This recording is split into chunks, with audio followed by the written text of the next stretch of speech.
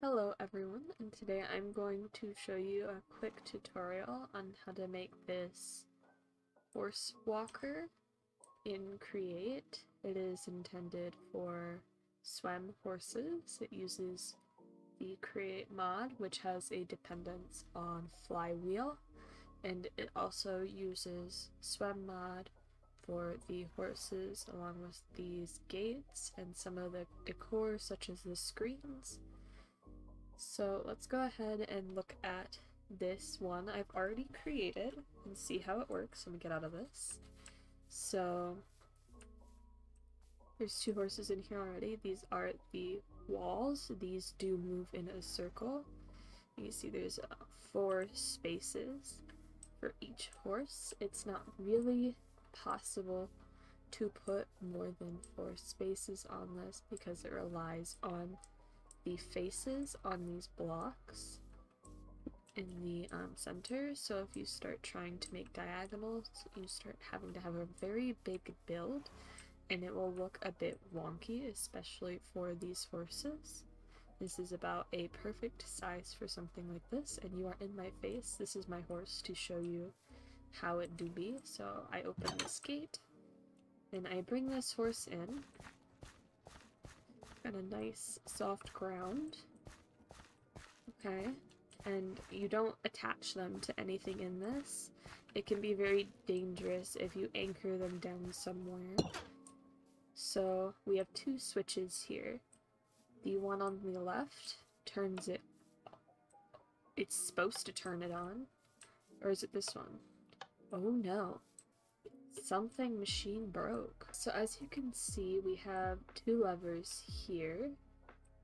Um, this one on the left, if I turn it on, the walker starts moving and it does push the horses along kind of but it doesn't hurt them they just start walking along and sometimes you get something like that which looks a lot nicer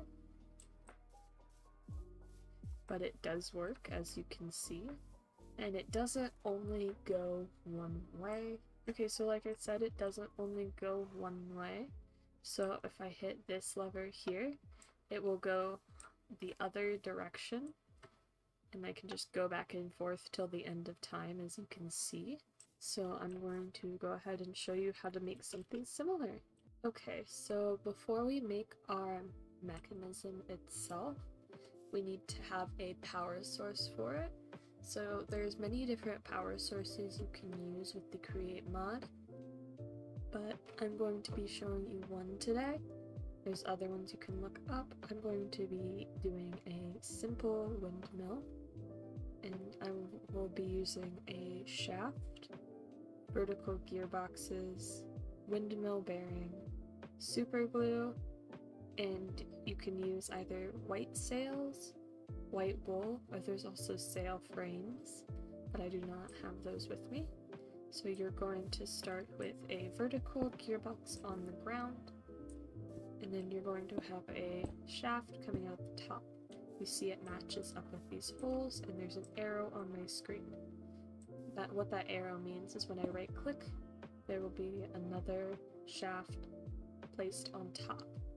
So I want this windmill to be very tall to catch the wind.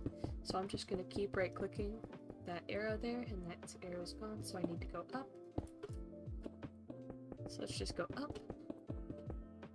Okay, so you can make it as tall as you'd like. I'm going to go to this height and I do need to put another gearbox on the top and then make sure that's matched up.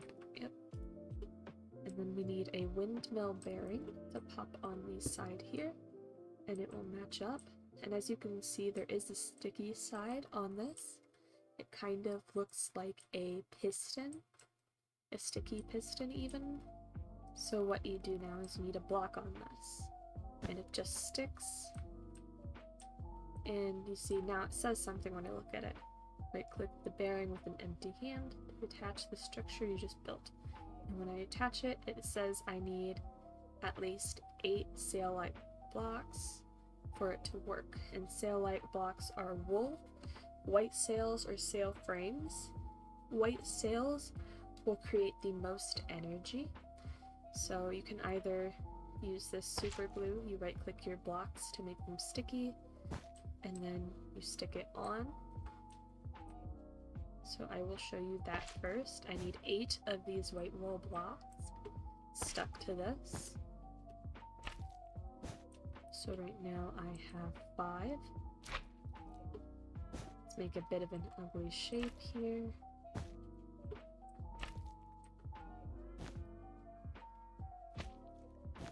Okay, now I have about nine wool blocks stuck to this, I believe. So if I right click it, it will start spinning, and now it is generating power. As you can see, the shaft which it is on is slowly turning. That's how you can tell how much power it is generating.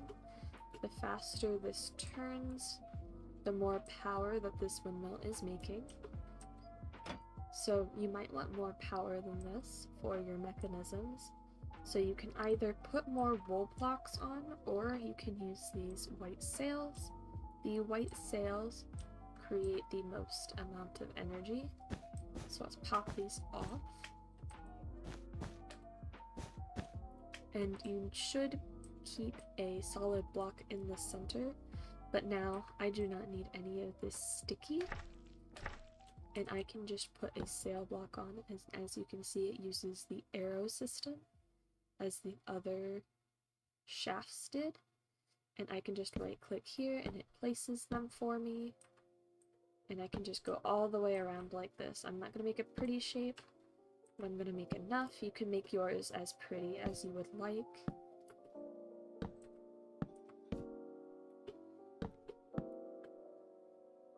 When I right click this, even though I didn't use any super glue and put it on backwards, it still spins. And this will generate a lot more power than the wool. As you can see, this is turning much faster. So I'm just gonna pop some more on here and continue making my ugly thing. It will also support putting decorative blocks to it, so they will also spin, so you can make more pretty looking sails on your windmill. I'm just going to make the ugliest thing known to man real quick. So what I mean by um, that is you can take something like fences, and if you want to make actual um, frame bits, I say as I make my ugly thing bigger. It will support things such as fences going through. So you can go ahead and pop some fence on with super glue. You can check where your super glue is on these solid blocks by just holding the tube. So I have super glue, place it down. Super glue, place it down, and we'll go all the way to the end. So you can add things like that and it'll still spin with your structure. So I'd recommend making it more pretty than my thing. Mine is just a test. And so we're going to keep that spinning because it needs to be going to provide power. I'm so sorry that this looks so ugly, but you're going to have to grin and bear it. So it's spinning all the way down to our gearbox here. So now that we have this, we can start on our other mechanism. And we'd probably like it farther away, since you might want to decorate around this. You can put any blocks around this as long as it does not impede with the spin and the gears. So you can make a whole pretty actual windmill around this however you'd like. So let's go ahead and put our windmill to use now. Um, you can put this shaft stuff underground. So what I'm going to go ahead and do is break this bottom gearbox and I'm going to pop it couple feet into the ground, such as this, and just connect up the shafts. This is so we can bury this part of our machinery later, and dig as far as you like away from your shaft this will go all the way to wherever your walker will be. So I have dug out a thing for my walker to be over here. Wherever you stop, this last block will be where the center of your walker is. So just be aware of that. so now we're going to go back and connect shafts from this all the way to the end here.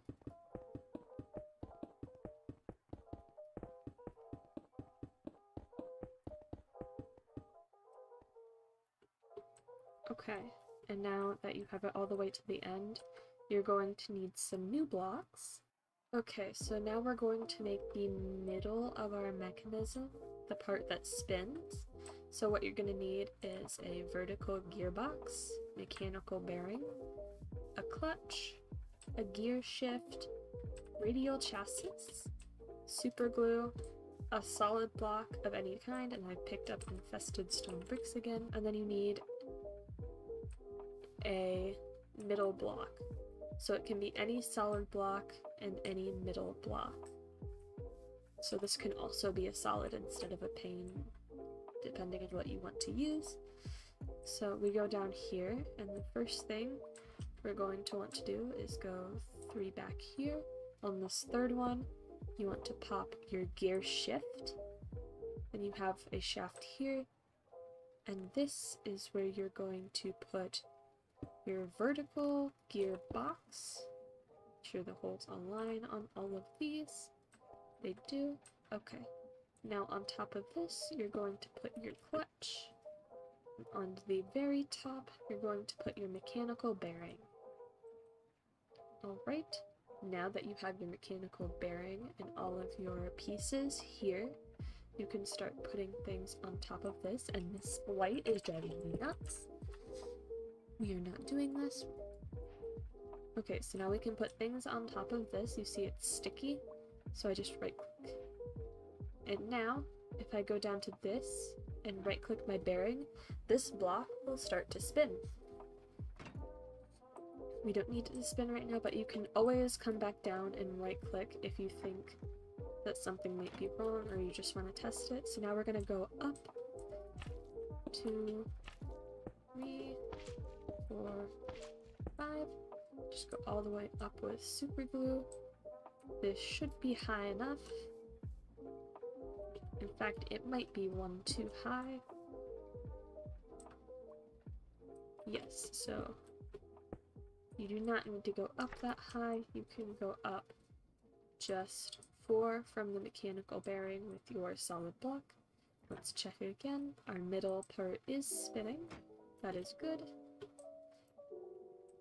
So now we're going to take this very top block that we just placed, we're going to break it and put a radial chassis. This is going to make things a bit easier. So what we're going to do with this radial chassis is we're going to put super glue on each side. And what this is going to do is make it so anything stemming out from this will not need super glue put on each block. So now if I put two blocks on this, and this one doesn't have super glue, when I right click to make it spin, this one on the end will still spin. Yes, so every, for every one we're going to go 7 out, making for 8 total. And then once you get to the end here, you will need to use super glue on the blocks going down. It will go all the way down, almost touching the floor, but there will be a one block space. And then for any everything in between, you will need to put super glue. Remember, when you have half walls or anything like this, you can always see where your super glue is by holding the tube, so it's easy to tell where you've missed. And this one is going to go the same length down as the wall on the end.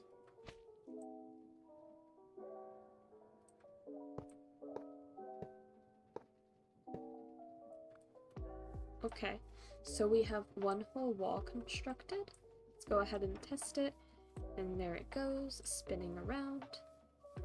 And now we will repeat this on every single side of this radial chassis the same way we did the first side.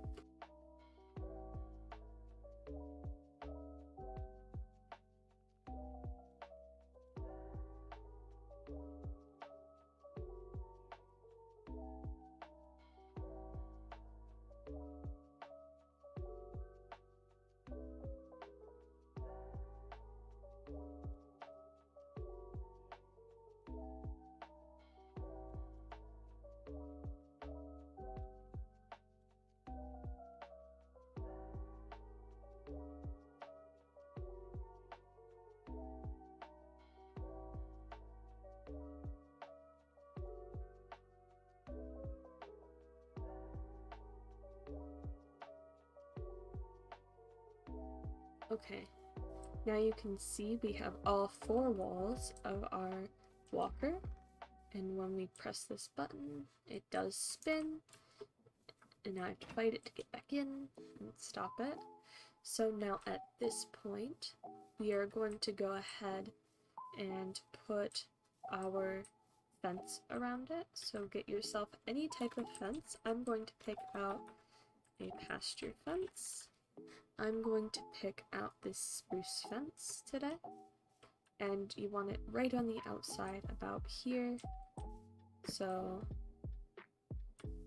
for one this size, three, four, five, it should be four on this side, then one, one, two, three, four. So each side, starting from here, will be about one, two, three, four, five, six, seven, eight, nine. So this is a nine block long fence for this side of the circle.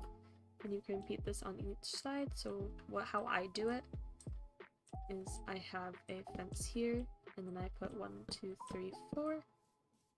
One two three four. And that makes a nine block wide. And then connect like that that's one way to make it even on every single side, so I'll show you again. One, and then one, two, three, four. One, two, three, four. Um, for this, for whatever side you have your shaft going through, you can just put a grass block on top for now. We're going to keep it uncovered as much as possible, since we are going to be doing a very small bit of redstone two, three, four. Two, three, four.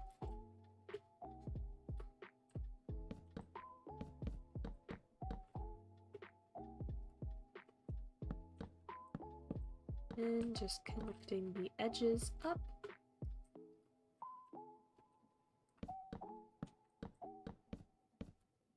And now we have a quite even circle with equally sized spaces for the horses. So now that you have your fence, you'd like some gates to get in as well. So let me go ahead and pick up a gate. Just going to use these black pasture gates. And for these gates, I'm using the care ones. Two, three. They should fit very well on the sides here. And when you put these gates on, you want them to be facing on the inside like this so there is less space for the horse to latch onto and get stuck. So I will do that on each side here, so it's on the inside as you can see. Um, this block in between that you see here needs to be some kind of not half block as they can get stuck here as well. I'm going to go for dark oak logs and so you can just keep that one block there. Um, or put it up too, but there needs to be some kind of solid block here. I will go ahead and do this on every side. You can make this as pretty as you want sure there's people with better ideas than I. And you can put as many gates on as you'd like as long as you have a way into each. I also like to do is put another set of um, solid blocks on this part. It's not required, but it does look a bit nicer on the gates since it's more flush. But they will not get stuck on this bit. At least I've not seen them get stuck. Don't at me. Okay. So now your horse walker is almost completely functional. Now what you're going to need is your grass blocks, redstone dust, a lever, and any solid block that isn't grass. So we're going to hook up the clutch and the gear shift. The clutch is what will turn your mechanism on and off. So we're going to dig out a thing here, and as you can see this lines up directly with this pillar. I do recommend that you line up your things to solid blocks, it will make it easier. So let's dig out a little trench here. We're gonna go one under the solid block, and then like this. So what we're gonna do from here is we're just gonna put a line of redstone all the way down, and then we're going to put a solid block here, a piece of redstone dust, and another solid block. And on top of this solid block, you're going to put a lever. And when you turn this lever now, it will turn your machine on and off. As you can see, this one's going quite fast. Now we're going to hook up our gear shift, which switches the directions. So we're going to build a little bit of a trench again. We're going to hook it to this block. So what I'm to do is I'm to put it like this.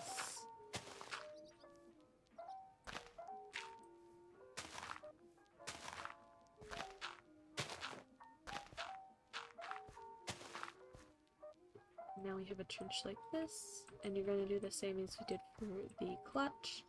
You're just going to line the bottom of your trench with redstone, take out this last piece of redstone, a solid block, and put the redstone on top, put another solid block on top, and finally a lever. So now when you turn this on and then press this, you should be able to turn your whole mechanism. Okay, once you have all your redstone built with these different gears, you can go ahead and get rid of the tops of your trenches like this, just cover them right up. Cover this one up as well. I'll just leave it like that. I messed up my gates, don't mind me, don't question how I did that. And now, for the most part, this is working, but there is one more thing I would recommend adding. You see this on the inside is open. So one thing you can do around here is you can put a solid foundation on this that doesn't really move. A bit like this. So you have a line all around the bottom this. And then you take away this first row of screens. Make sure there isn't super glue up here as you do not want this inner bit to move with your mechanism. Let's take out this inner bit. Off. Sure there's no super glue on the outside of this. Okay, nothing on the sides. So we should be good to go. So just place a solid block right here. And the purpose of this is to make sure that your horse does not get stuck on the inside of your mechanism. It is basically a safety function that you can choose to use.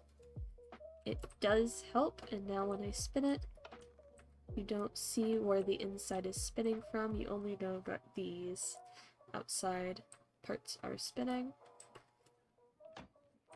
And then everything beyond this point is decorative. You can add a roof, add different ground, whatever you'd like to do to this. But now it is ready for horses. Let me go ahead and spawn a SWEM horse. Okay, you... I'm gonna put four in here. I've never put four in it before. So I'm gonna put all four in. Um, do not use a lead and anchor with this. It is very dangerous to anchor a horse into one spot on a moving contraption. And no, horses will not anchor to the moving contraption. The lead will break immediately. So let's put everyone in. I'm not gonna tame them. They'll be okay. You next. Come on Sorry, I'm kind of dragging you around. You'll be okay. And last one. Woo. Oh, I'm missing a... Well, that tells me something. Excuse me. I'm missing things in my own contraption, don't mind me. On for you. Take your... Oops. No, I don't want to tame you. No, no, no. Okay, now we have four horses in our contraption. Let's turn it on. And if you think your thing's spinning too fast, there's one thing you can do. You can go up to this bad boy up here. You can turn it off for a second. And we can just start taking off these sails because sometimes it will go way too fast. If you have too much power, there's also a way to slow down the chain.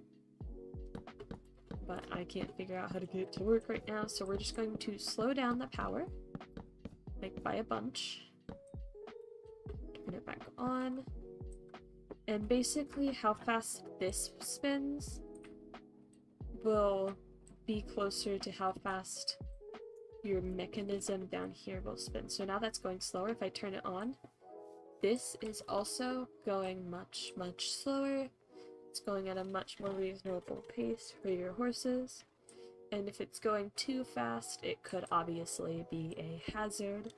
So this is a very nice speed to just walk them and exercise them.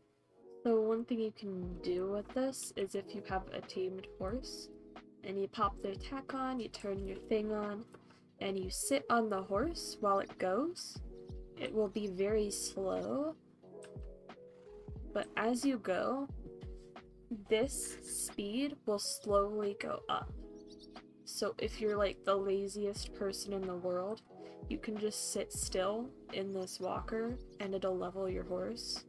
Your horse might hate you for it after a while, but it will slowly level this up and it also levels up friendship. I don't think this was supposed to be a thing and it's not very effective, so I don't really recommend it, but it, it does exist like this just so everyone's aware. And I can go ahead and switch the direction on them. Yeah, that one really doesn't want to go. Oh, you're very nice about it. I'm surprised. You're actually, like, trying to walk it. Wow. Oh, you are too. You're actually working. How are you actually working? That's kind of a miracle. If there's anything that's still confusing or that I missed, please go ahead and ask me. That's all I have on this one, so yeah, goodbye.